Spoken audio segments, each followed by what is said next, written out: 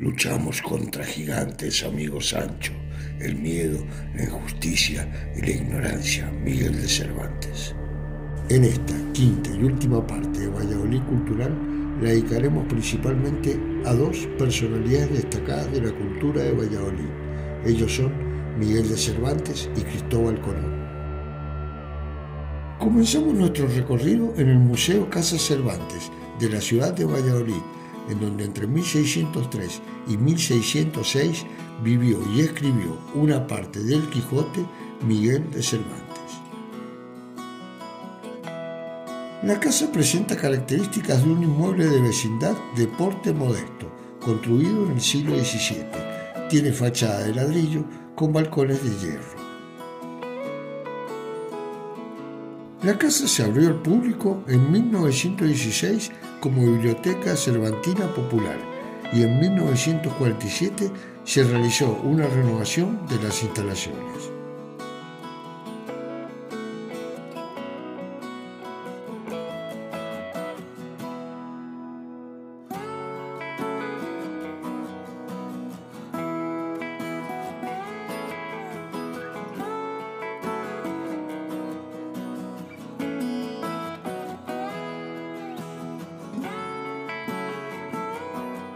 La Casa Museo Cervantes es de solo 3 euros, por lo tanto, vale la pena visitar el lugar.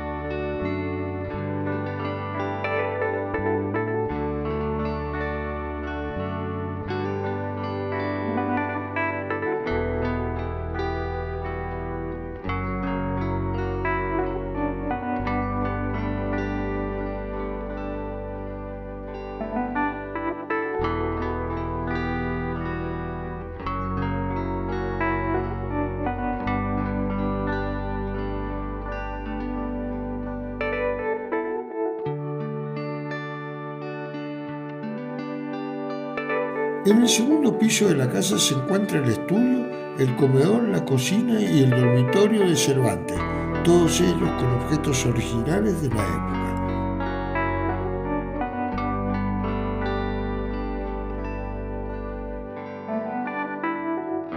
Miguel de Cervantes nació el 29 de septiembre de 1547 en Alcalá de Henares y falleció en Madrid el 22 de abril de 1616.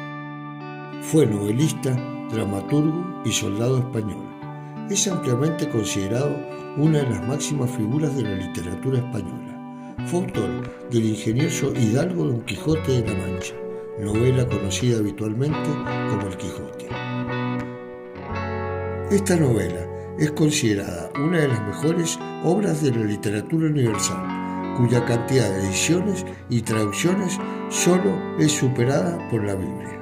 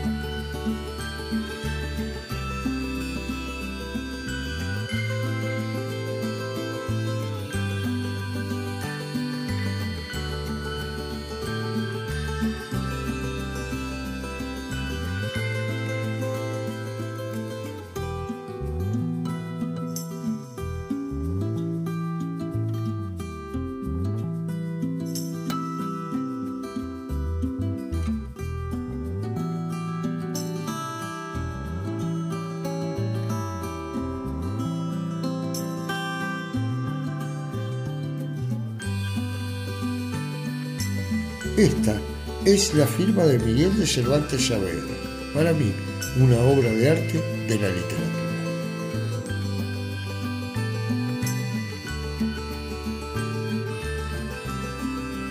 Continuamos nuestro recorrido para conocer el Palacio Real, pero es un cuartel militar y no se puede visitar.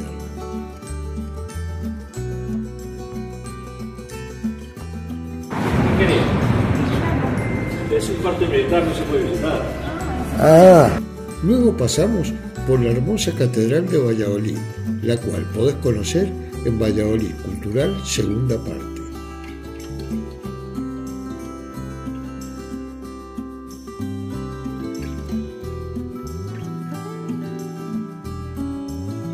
Durante el recorrido hacia el Museo Colón nos encontramos con este hermoso pasaje, el pasaje Gutiérrez.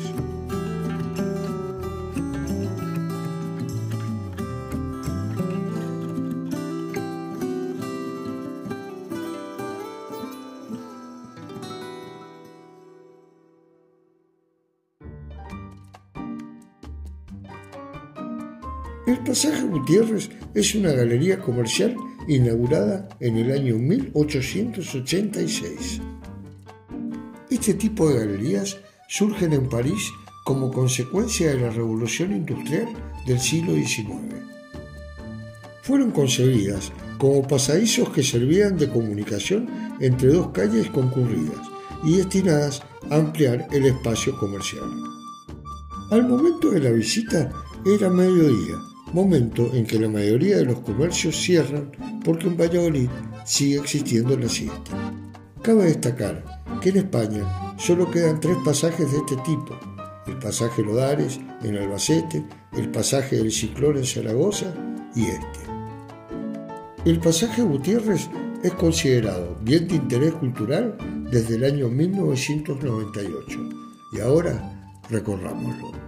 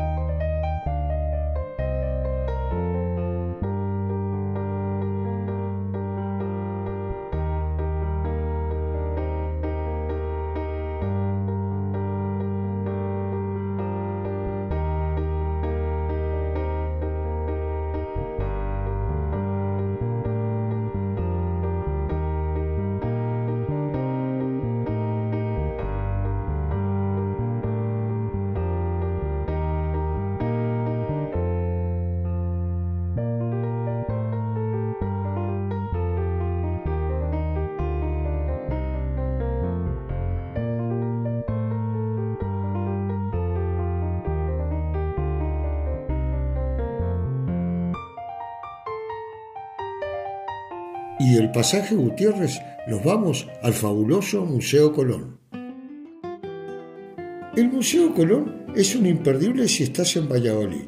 El edificio del museo es del año 1965, con estilo gótico isabelino, a imagen del Palacio Virreinal en el que vivió Diego Colón, hijo de Cristóbal Colón, en Santo Domingo.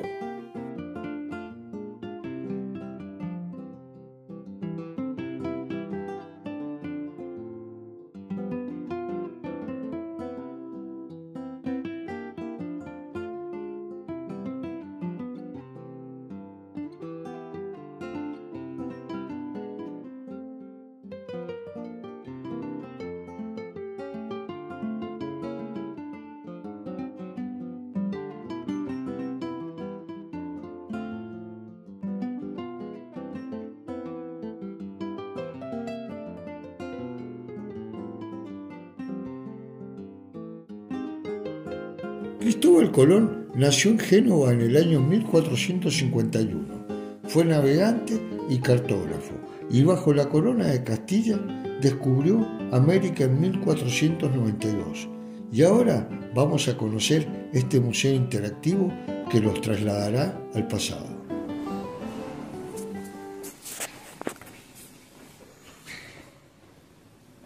¿Quién era realmente Cristóbal Colón? Quién era ese hombre que desde su oscuro origen genovés logró encaramarse a lo más alto de los escalones de la historia universal. ¿Era solo un aventurero o un marino genial? ¿Era un cartógrafo o un hombre de negocios? ¿Era un visionario o un apasionado escritor? ¿Fue Colón en realidad solo un mito creado por su hijo Hernando y por el padre Las Casas? ¿O acaso fue Colón, a través de sus cartas, diarios y documentos, el que se inventó a sí mismo? ¿Qué papel jugó el romanticismo en la concreción de la figura literaria de Colón?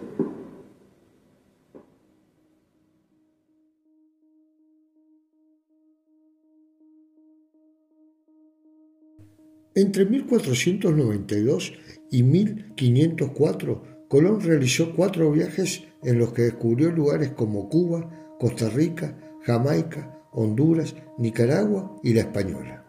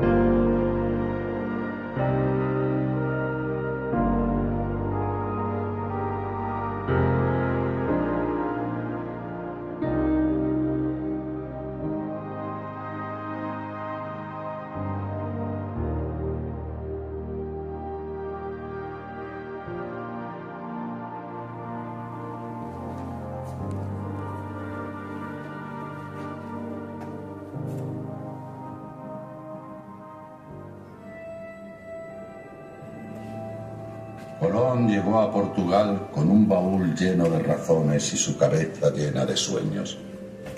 La corte de Juan II contaba con los mejores asesores en cuestiones marítimas.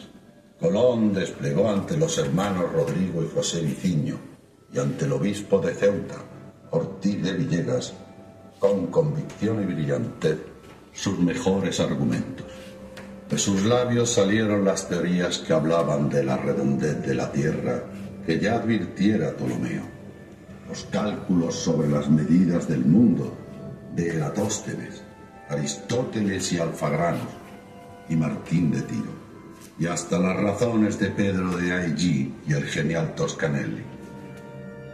Pero sus buenas razones no convencieron a los sabios y astrónomos portugueses que pensaban que Zipango estaba mucho más allá de las tres o cuatro semanas navegando hacia Poniente que sostenía Colón.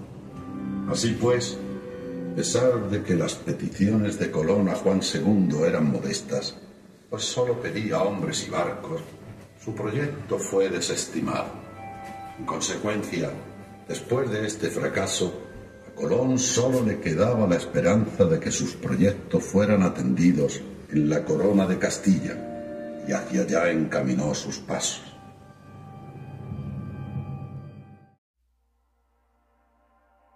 Cabe destacar que en el segundo viaje de Cristóbal Colón fundó la primera ciudad de América, la Isabela, la que hoy conocemos como República Dominicana.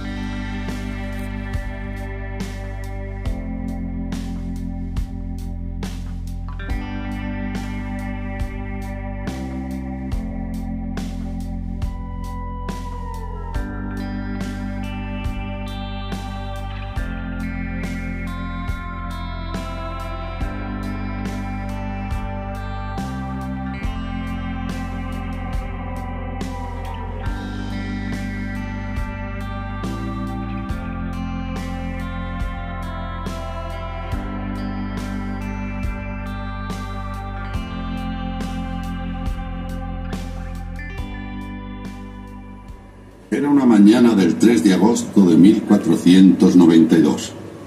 Tres barcos se hacían a la mar desde el puerto de Palos. La niña, capitaneada por Vicente Yáñez Pinzón. La Pinta, a los mandos de Martín Alonso Pinzón. Y la nao Santa María, gobernada por el propio Cristóbal Colón. Era un día de esperanza para Colón su sueño tan anhelado empezaba a hacerse realidad, pero el almirante no las tenía todas consigo. No me fío de los pinzones ni de sus armadores. ¿Cómo es posible que unos marineros experimentados como los de Palos se les rompa el timón? Estos traman algo. Yo creo que quieren sabotear la expedición. Tengo que hacerme fuerte e idear un plan antes de que me tiren por la borda. Colón, atenazado por las dudas, se encierra en su camarote y mientras escribe y escribe en su diario, en sus escasas salidas a la cubierta, comienza a difundir noticias positivas sobre los indicios que la mar va aportando. Día tras día, hace creer a la tripulación que recorrían menos distancia de la que realmente se recorría, y no perdía ocasión para relatar ante la marinería las maravillas que les esperaban a la llegada. Con estas y otras artimañas trataba Colón de mantener alta la moral de los navegantes. Estad seguros de que encontraremos árboles tan frondosos que no abarcarían diez hombres y que producen frutos de oro del tamaño de un puño. Veremos valles feraces por los que discurren caudalosos ríos de leche, donde se bañan mujeres tan blancas y tan bellas que parecen salidas de un sueño. Pero el día 6 de octubre, la tensión entre la marinería es tan grande que los hermanos Pinzón presentan a Colón un ultimátum. O se descubre tierra en tres días o las naves volverán a puerto. Colón responde al desafío poniendo sobre la mesa todos los conocimientos que sobre el viaje había acumulado durante años, asegurando que el viaje conseguiría su objetivo, pero no antes de las 750 millas al oeste de Canarias. En Tordesillas se firmó un tratado entre Castilla y Aragón y Portugal y puedes conocer la ciudad de Tordesillas y el Museo del Tratado en un video del canal denominado Tordesillas, Castilla y León, España.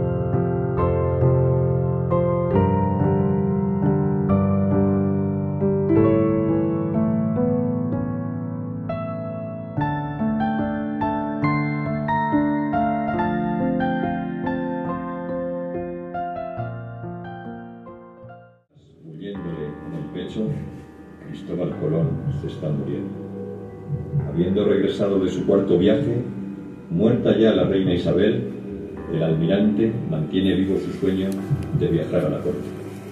En Segovia, a finales de mayo de 1505, se entrevista con el rey Fernando, quien se muestra algo distante y olvidadizo de las gestas colombinas. Un mes después, el lamento de Colón queda patente en una carta al monarca. Muy humildemente suplico a vuestra Alteza que mande poner a mi hijo en mi lugar en la honra y posesión de la gobernación que yo estaba, en que tanto toca a mi honra. Que creo que la congoja de la dilación de este mi despacho sea aquello que más me tenga así tullido. Al año siguiente, llegaría incluso a escribir a los nuevos monarcas Juana y Felipe antes de otorgar el testamento de la esperanza en Valladolid a 19 de mayo de 1506, un día antes de su fallecimiento. Cristóbal Colón tuvo dos hijos, Diego Colón y Hernando Colón y muere en Valladolid el 20 de mayo de 1506. En su testamento dejó a su hijo mayor, Diego, todos los privilegios que le habían sido otorgados.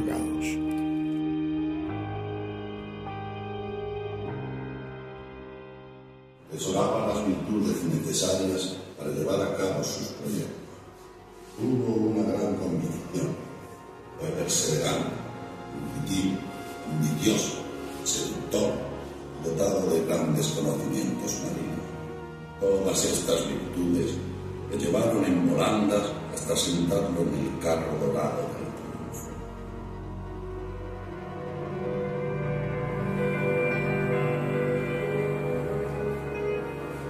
Pero la gloria en esta tierra dura poco. Todas estas virtudes se desvanecieron a partir del segundo viaje. En su lugar, aparecieron el orgullo, la soberbia, la obcecación y el inmovilismo, se adueñaron del carácter del almirante hasta convertir su triunfo en su calvario.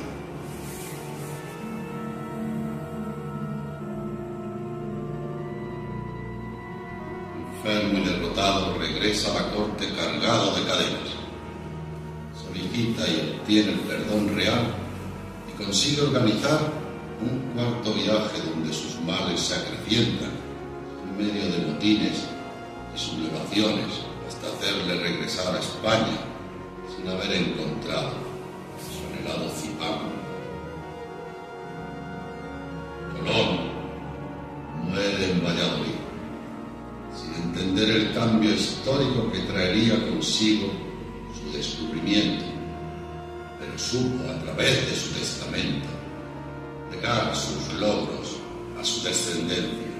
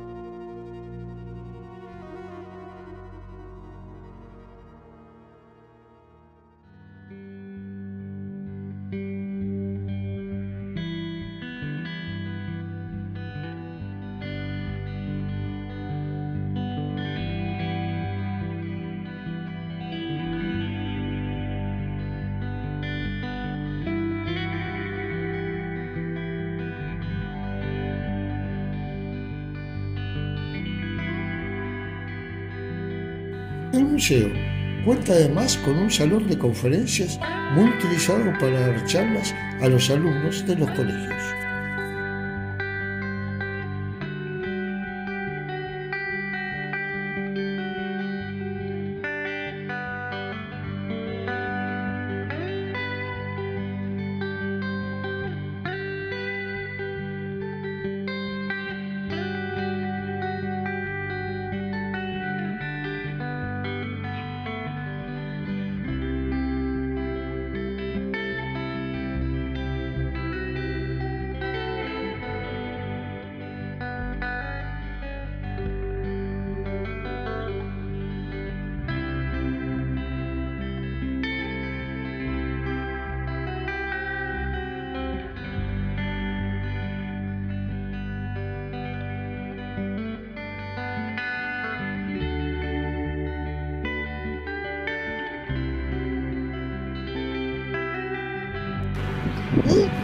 ¿Y qué les pareció el Museo de Colón? Espectacular, ¿eh? Hermoso, te cuento toda la historia. Y la entrada cuesta solamente 2 euros. Así que es un imperdible si venís a Valladolid. Espero que les haya gustado y nos vemos prontito con más. Cabetur. Chao.